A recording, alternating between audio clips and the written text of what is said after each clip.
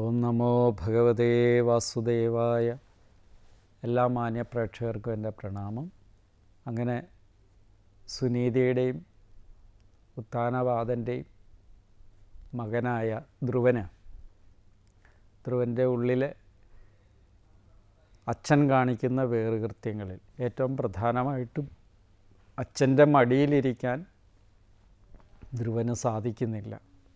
അച്ഛനെക്കുറിച്ച് മകനുള്ള ബഹുമാനങ്ങൾ എപ്പോഴും അച്ഛന്റെ സ്വഭാവ ഗുണങ്ങളിൽ നിന്നാണ് ഉണ്ടാകുന്നത്.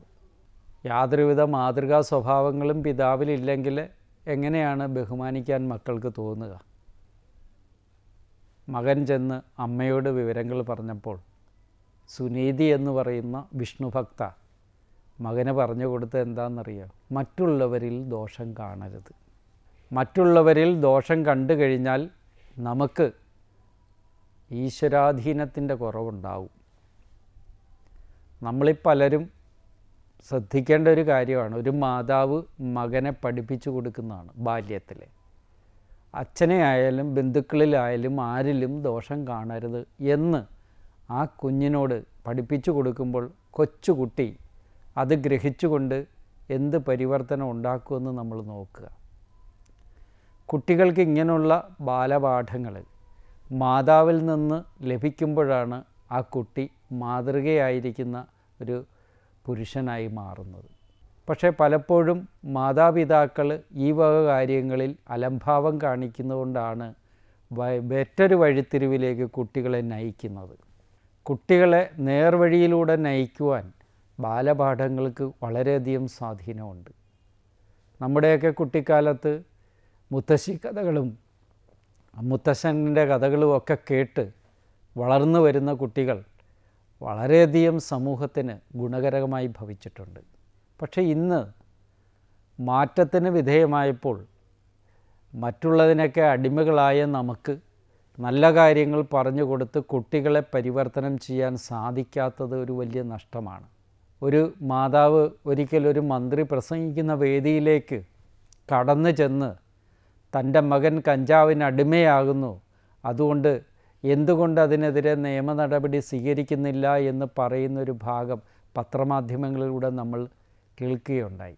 പക്ഷേ ഇത് എന്താണെന്ന് ചോദിച്ചു കഴിഞ്ഞാൽ ഈ സന്ദർഭത്തിനൊക്കെ സാഹചര്യം ഒരുക്കുന്നതിന് ഒരു പരിധിവരെ ആ സാഹചര്യ വീട്ടു സാഹചര്യങ്ങളും കാരണമായിക്കൂടെ എന്ന് നമ്മൾ ഓർത്തെടുക്കുക.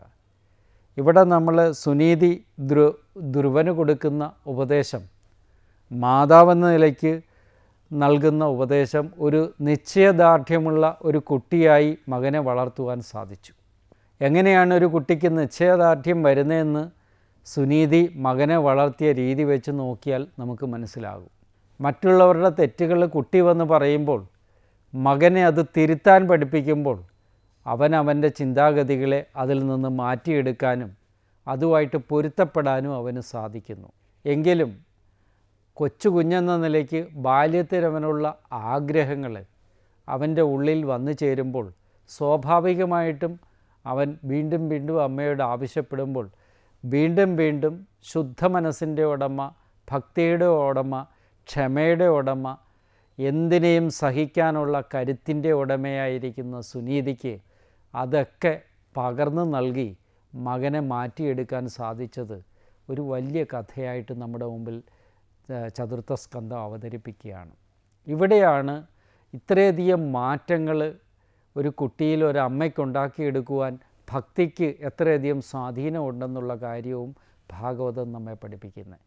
കേവലം ഇന്ന് ക്ഷേത്ര ദർശനം ഒന്ന് തൊഴുതു നിൽക്കുക തിരിച്ചു നടക്കുക ഇത് മാത്രമായ ഭക്തിക്ക് സാധിക്കുന്നതാണോ? ഇതുപോലുള്ള മൂല്യവത്തായ ഗുണങ്ങളെന്ന് നമ്മൾ ആത്മപരിശോധന നടത്തേണ്ട ഒരു കാലഘട്ടമാണ്. ഈശ്വരഭക്തിയിലൂടെ ആർജിക്കേണ്ടത് ഇങ്ങനെയുള്ള പരിഷ്കരണ ഗുണങ്ങളല്ലേ എന്ന് ചിന്തിക്കുമ്പോഴാണ് ധ്രുവചരിതത്തിൽ ഇതിന് ഏറ്റവും പ്രാധാന്യം ഏറുന്നത്. ഈ ഗുണഗണങ്ങൾ അമ്മ മകനിലേക്ക് പഠിപ്പിച്ചതിന്റെ ഗുണമെന്തായി? ഈശ്വര സാക്ഷാത്കാരത്തിനുള്ള വഴി വരെ അവിടെ തുറക്കപ്പെട്ടു എന്നുള്ള കാര്യം നമ്മളെ ഓർമ്മപ്പെടുത്തുന്നു ഭാഗവതം. കേവലമായ ഉപദേശം മാത്രമായിരുന്നില്ല.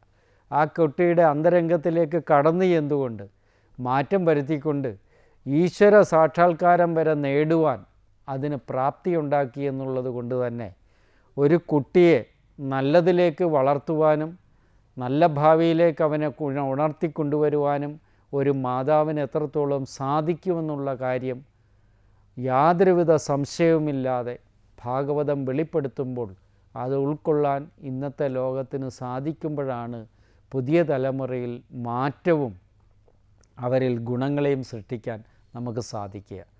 ഭക്തിക്ക് ഇത്രയേറിയ ഗുണങ്ങൾ ഇത്രയേറിയ അമൂല്യ സമ്പത്തുണ്ടെന്നുള്ള കാര്യം നമ്മൾ ഓർത്തെടുത്താൽ ദൈനംദിന ജീവിതം ശുദ്ധിയും ഭക്തിയും കൊണ്ട് നിറഞ്ഞ് മറ്റുള്ളവർക്ക് മാതൃകയുടെ വരിച്ഛായ വിളർത്തിക്കൊണ്ട് എന്നും അവർക്ക് ഗുണകരമായി ഭവിക്കുമെന്നുള്ള കാര്യത്തിൽ സംശയം വേണ്ട. അതിന്റെ വാതായനമാണ് സുനീതി മകനിലൂടെ ഇവിടെ തുറന്നിട്ടിരിക്കുന്നത്. അതിലേക്ക് ഓരോ മാതാപിതാക്കളും ഓരോ കുഞ്ഞു ഹൃദയങ്ങളും കടന്നു ചെല്ലട്ടെ എന്ന് ആശംസിക്കുകയാണ്. കാര്യം അതിലൂടെയാണ് നമ്മുടെ സമൂഹത്തിൽ വലിയൊരു മാറ്റം വരേണ്ടത്. മാതാവും കുട്ടിയും തമ്മിലുള്ള ബന്ധത്തിലൂടെ തന്നെ വേർതിരിവിലുള്ള പിതാവിൽ നിന്ന് അത് മാറ്റിയെടുത്ത് പിതാവിനെ സ്നേഹിക്കാനും ബഹുമാനം നിലനിർത്താനും ഒരു മാതാവിന്റെ സതുപദേശം കേട്ട് ഈശ്വരഭക്തിയിലേക്ക് തിരിഞ്ഞ ധ്രുവചരിതം മാതാവിന്റെ ഗുണഗണങ്ങളെ കീർത്തിക്കുന്നതിനോടൊപ്പം പിഞ്ചു കുട്ടികളിലേക്ക് നൽകുന്ന മഹത്തായ ഉപദേശത്തെ കൂടെ നമുക്ക് മനസ്സിലാക്കിച്ചു തരുന്നത്. നാമം മനസ്സിലാക്കി മനസ്സിലാക്കിക്കൊണ്ട് സംശീകരിച്ചാൽ അതിന് ഒരുപാട് ഗുണങ്ങളുണ്ടാകുമെന്ന് ആശംസിക്കുന്നു. എല്ലാവർക്കും അതിന് സാധിക്കട്ടെ. നമസ്കാരം.